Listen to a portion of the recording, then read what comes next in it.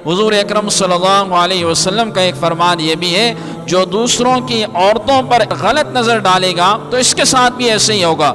इमाम शाफी रहमल्ला का एक शेर है, वो फरमाते हैं कि जिना एक कर्ज है, ये जिना एक किसास है। जो बंदा जिना करता है, फरमाते हैं कि ये जिना उससे फिर उसका बदला लिया जाता है। और इस ज़िमन में हज़रत एक वाक़ बताते हैं, फरमाते हैं कि एक शख्स था, एक बादशाह था, उस बादशाह ने ये बात सुनी थी इमाम शाफी रही की कि जिना एक किसास है, कहने लगे कि अपनी बच्ची से कहा, ये शहजादी वाले कपड़े उतार के आम से कपड़े पहन के बाज़ार का चक्कर लगाओ। और दूसरी खातून से कहा कि, तुम देखती रहना, मेरी इस बच्ची को क्या कोई इशारे करता है, कोई देखता है? मेरी इस बच्ची के साथ क्या मामला होता है, मुझे बताना। का ये बच्ची बाज़ार से गुजर रही है और गुजरते हुए किसी ने इसकी तरफ़ नहीं देखा। ये वापस महल में आई और उस बादशाह से कहा कि आपकी बच्ची को किसी ने भी नहीं देखा। बादशाह ने कहा, यही बात मैं देखना चाहता था कि मैंने अपनी ज़िंदगी के अंदर किसी गैर महरम को नहीं देखा। जब मैंने नहीं देखा तो मुझे इस बात का यकीन था कि मेरे घर वालों की तरफ़ भी कोई आँख उठा के नहीं देखेगा।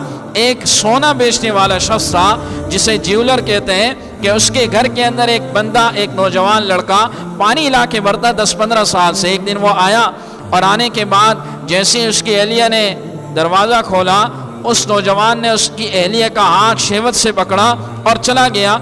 ये औरत रोने लगी और जब ये शख्स आया, इसने कहा कि ये वाक़ हुआ पंद्रह साल से उस नौजवान ने ऐसी हरकत नहीं की। आज उसने ये हरकत की, इसलिए मुझे रोना आ रहा है। तो ये जो सोना बेचने वाला शख्स था, ये भी रोने लगा। कहा, आप क्यों रह रहे, रो रहे कहा, मैं इसलिए रो रहा हूँ कि आज एक औरत आई थी। उस औरत को जेवर लेना था। जेवर देते हुए शहवत वाला हाथ मैंने उस पर लगाया और अल्लाह ने क्या किया? मैंने उस पर शहवत वाला हाथ लगाया। फ़ौरन इसका बदला अल्लाह ने मुझसे ले लिया। तो मैं तोबा करता हूँ। आज के बाद ये नहीं करूँगा।